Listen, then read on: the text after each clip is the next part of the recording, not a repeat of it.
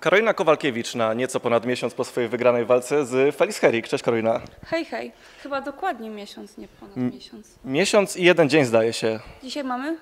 Siódmy, A walczyłam siódmego. czyli miesiąc dokładnie. To moja pomyłka, przepraszam. W takim razie na dokładnie miesiąc po wygranej z Felis Herrik. E, Na początek chciałbym zapytać o miejsce, o Nowy Jork, bo po raz kolejny tam walczyłaś i mówisz też o tym, że e, bardzo lubisz to miejsce. Czy, czy faktycznie tak jest, że e, lubisz wracać do tego Nowego Jorku? Bardzo lubię, bardzo lubię Nowy Jork, chociaż e, nie mogłabym tam mieszkać. Jest to dla mnie taka troszeczkę e, betonowa dżungla, ale, ale bardzo lubię to, to miejsce, bardzo, bardzo lubię tam walczyć, pojechać tam na jakiś czas. E, no i, i cieszę się z ostatniej walki, z przebiegu ostatniej walki. Cieszę się, że walczyłam na Brooklynie. Naprawdę bardzo fajnie to wspominam. E, Do tej walki jeszcze za chwilę przejdę. Wcześniej chciałem Ciebie zapytać jeszcze o to, co przed walką, bo wydarzył się tam incydent z tą e, ekipą Conora McGregora, no i samą postacią Irlandczyka. Czy, czy mogłabyś trochę tutaj opowiedzieć, e, jak to wyglądało z Twojej perspektywy? Po konferencji prasowej wsiedliśmy do busa, już mamy odjeżdżać i nagle słyszę, że, że ktoś wali, wali w busa, że, że cały bus się trzęsie. Nie wiedziałam, co się dzieje na początku. Myślałam, że to może jacyś fani albo że ktoś sobie robi żarty. E, Potem tam e, reszta zawodników w środku właśnie zaczęła krzyczeć, e, chcieli, żeby otworzyli drzwi, chcieli wysiąść. Wtedy się zorientowałam, że wokoło busa biega pełno Irlandczyków. Właśnie widziałam gdzieś tam Conora, jak walą, walą w szyby, gdzieś tam szyba była wybita. Widziałam, jak Rose płacze, się trzęsie, Pat Barry ją, ją przykrywa, ktoś tam miał zakrwawioną twarz. Mnie też tam trenerzy schowali pod siedzenia, żeby, żeby nic mi się nie stało, żebym nie dostała kawałkiem szkła. Jak krzyczałam, żeby mnie puścili, bo chcę wszystko widzieć, ale mnie tam trzymali pod tymi siedzeniami i mnie nie wypuścili.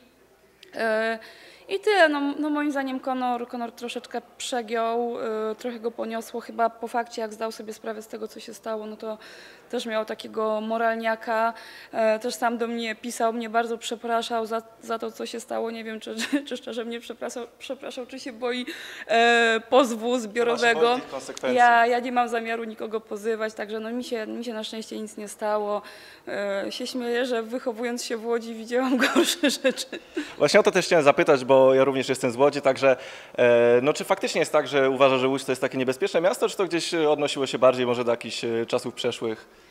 Nie, no to nie jest niebezpieczne miasto, ale w- no zdarzało się. W Łodzi mamy dwa kluby piłkarskie, na przykład jeszcze będąc w liceum, e, kiedy na przykład wracałam ze szkoły, czy jechałam gdzieś na trening właśnie autobusem linii 70 czy tam 75, gdzie często na te, nie wiem, to były derby, nie derby, tam jeździli kibice, no to, no to tam różne rzeczy się działy, ale no takim postronnym osobom to się raczej krzywda nie działa, tylko raczej byliśmy świadkami tego, jak tam chłopaki się ganiają.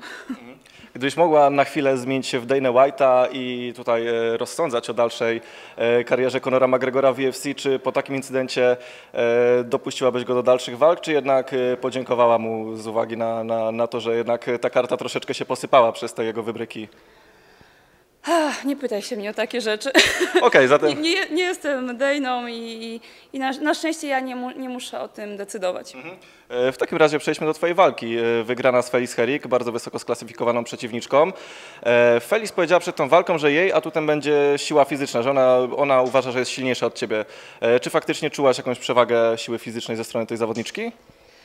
Y, była naprawdę bardzo silna, ale tak jak, tak jak podejrzewałam wcześniej, nie była silniejsza od, od naszej Anitki Bekus, także y, no, spodziew, spodziewałam się tego, no, powiem krótko, spodziewałam się tego, Anita też, jak, bardzo, bardzo było czuć e, tą jej siłę w klinczu, kiedy łapała mnie, mnie w pas, tak pod dwie pachy, no to było czuć tą siłę, ale to samo mam na sparingach z Anitą, więc, więc nie było tak źle.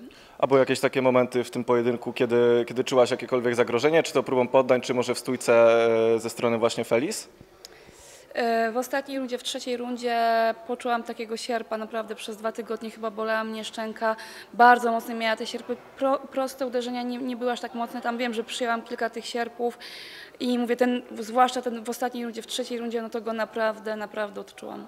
E, Twój trener Łukasz Zaborowski powiedział mi kiedyś, zobaczysz, za dwa lata Karolina będzie się ruszała na nogach jak Dominik Cruz i faktycznie w tej walce, e, no może nie jak Dominik Cruz, ale było widać, że bardzo fajnie ruszasz się na tych nogach, zmieniasz pozycję e, i to widać też z walki na walkę, że, że poprawiasz ten element. Czy faktycznie gdzieś na treningach stawiasz jakby na, na tą pracę nóg i gdzieś mocniej zwracasz na to uwagę? E, Staram się tym bawić. Może tak na, na treningach się y, nie skupiam na tym, tylko staram się, żeby to przychodziło naturalnie. Podczas właśnie sparingów staram się próbować dużo nowych rzeczy, staram się zmieniać tą pozycję, nawet tak nie do końca myśląc o tym, tylko żeby to wychodziło naturalnie. Bo zazwyczaj tak mam, że jeżeli na czymś się bardzo skupiam, chcę coś zrobić, to mi to nie wychodzi, więc, więc staram się tym bawić, staram się, żeby to wychodziło naturalnie. Na przykład podczas walki z cieniem sobie często zmieniam pozycję. Łukasz właśnie wymyśla różne, różne ćwiczenia z piłeczkami, bez piłeczek, takie na, na pracę na nogach, ale mówię, wszystko to jest w formie zabawy, bo wiadomo, jeżeli coś ci sprawia przyjemność, to, to efekty przychodzą, przychodzą dużo szybciej. E, Dobrze, teraz chciałem zapytać, e, co dalej, bo Michelle Watterson e, gdzieś w mediach wypowiadała się na Twój temat i powiedziała, że jej zdaniem to jest bardzo fajna walka do zorganizowania, bo Wasze style gdzieś mogą zagwarantować naprawdę fajny pojedynek. Czy Ty chciałabyś zmierzyć się z, z tą zawodniczką? O matko, wiesz co? Yy, bardzo ją lubię. Jest świetną zawodniczką. Oczywiście, jeżeli, jeżeli dostanę taką propozycję od UFC, ja, ja nie wybrzedzam. Jeżeli termin będzie mi pasował, to, to czemu nie? Jak najbardziej.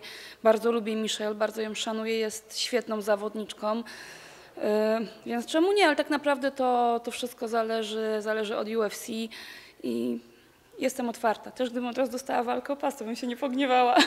E, Właśnie też o to Cię chciałem zapytać, bo no tutaj e, Rose Namajunas pokonała w ostatniej walce Joasie Jędrzejczyk.